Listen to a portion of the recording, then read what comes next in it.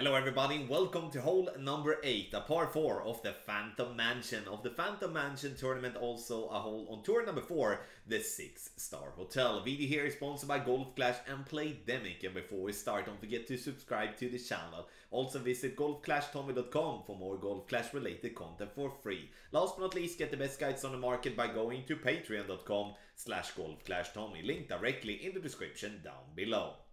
Here you will see my opponent's drive and second shot from the left and then I will complete it by showing my own second shot from the right. And here it's all about what you feel comfortable with because the second shot is gonna be elevated a lot and it's gonna be a difficult one to uh, to get in a correct way.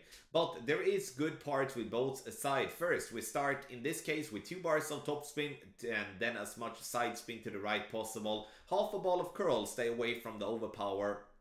Maximum distance plus 25 is what I judge uh, the adjustment should have been on this shot here. In the end though, we're not looking to get the ball, what can I say, uh, roll into the rough obviously, but uh, we can push the drive a little bit harder by using more curl. We can also use a ball with more side spin like the Katana. And then we can also go with a power 3 ball if so. Tough drive though. And if you, uh, you know, to just talk about the right side drive. The right side drive needs a power 3 ball to bounce on the fairway directly. And then we roll over to the final fairway to sit nicely for a wedge shot. Which I'm to show in a bit. Now second shot, disregard the result here. I just wanted to show this video from our opponent to display the way that the shot is going to be. In my opinion, you should be playing this one a 30% over adjustment here. It's a very very downhill play, but obviously it all depends on how far you go with the drive. The further you're going with the drive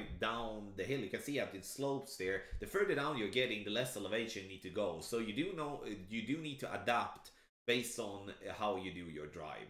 And here it would be good to go with one to three bars of backspin, aim for the hole, and then just get in the hole. At least that is the plan.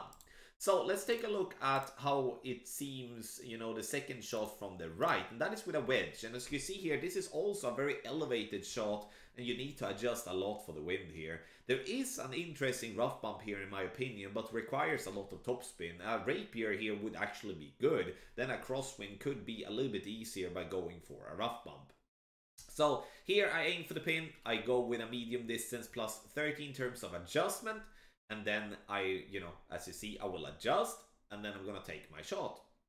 In the end though, right side is, in my opinion, the one that I would favor and the reason for that is that we can get a drive more easily up and get a short iron or in that case a wedge towards the pin. The rough bump is also there which will be tricky but it's there. And left side I would say that is the way to play if you just want don't want to take any sort of risk and just gonna have a, a safe way to get the birdie. Video here is sponsored by Golf Clash and Playdemic. A massive thank you for watching and good luck in your Golf Clash game.